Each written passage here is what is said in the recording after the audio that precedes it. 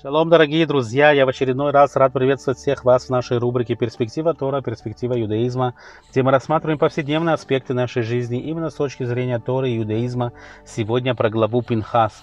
Именно в этой главе, в главе Пинхас Всевышний говорит Моше Рабейну, чтобы он зашел на гору, посмотрел на страну Израиля, не входя в нее, и чтобы умер так же, как и умер его брат в пустыне. И Всевышний также припоминает грех, за что надо умереть.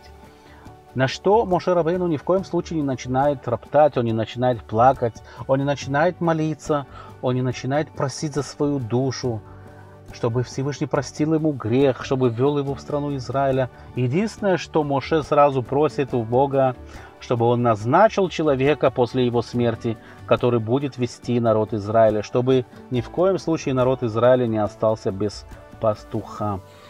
Друзья, Моше Рабейну дает характеристику, подробную характеристику Всевышнему, каким должен быть этот человек, который будет после него, который будет вести за собой народ. И Всевышний сводит все к одному слову. Все, что сказал Муше, Всевышний сводит к одному слову и говорит, возьми себе Йошуа Бинон, это твой ученик, в котором дух. Это и есть характеристика, которую Всевышний дает. Человек, в котором дух – этот человек будет после тебя. Наши мудрецы спрашивают, что это за характеристика такая, чтобы быть предводителем народа, нужен нам дух. Ведь каждый человек, который живой, человек, который не находится сейчас на кладбище, все люди, которые живые, в них есть дух.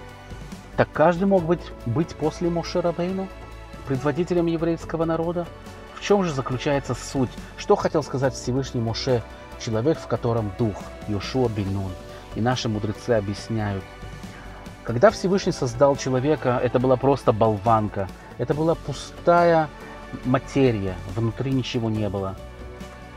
И Всевышний только в тот момент ожил человек, когда Всевышний вдунул в него дух, и человек ожил. И сразу после того, когда человек ожил, Адам, первый человек, когда он ожил, Всевышний сразу ему говорит, у тебя есть задание – у тебя есть задание по отношению к твоей жене, по отношению к животному миру, по отношению к окружающей среде.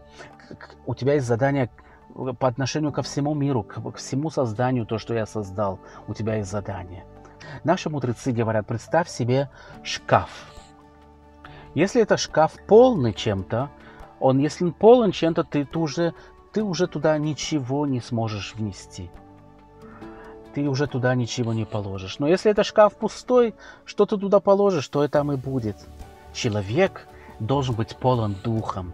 Тем более человек, на которого равняются другие. Человек, который ведет за собой массы, как может быть каждый из нас. На кого-то равняются дома, домочадцы, на кого-то равняются соседи, на кого-то равняются ученики, на кого-то равняется коллектив на работе. Все мы какие-то предводители маленькие. И что же у нас получается? Человек, который пустой, у которого только оболочка и нету внутри духа, это пустышка, это человек болванка. Болванка, заготовка, в нем ничего нету. И все, что туда положишь, в эту голову, так и человек ты на него влияешь. Можно из него сделать хорошего человека, можно из него сделать плохого человека. Такой человек пустой, он не может быть предводителем. На такого человека нельзя равняться. Поэтому кто нам нужен, чтобы был предводителем? Человек, который сам полон духом. Человек, который будет влиять на других, который будет влиять на свое окружение, а не так, чтобы окружение влияло на него. Ведь обычно бывает так, что не всегда окружение влияет хорошо на человека. Поэтому Всевышний говорит, Муше, когда тебя не будет, я выполню твою просьбу. Я назначу человека после тебя. Это будет твой ученик. А знаешь почему? потому что он полон духом.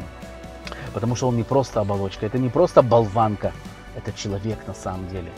И когда человек получил от Всевышнего задание, это было задание, первый человек, когда получил от Всевышнего задание, эти были задания, чтобы человек проявлялся в этом мире и влиял на окружающий мир.